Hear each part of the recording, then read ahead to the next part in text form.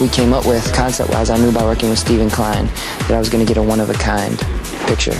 And that to me is what it's all about because an album cover is remembered forever.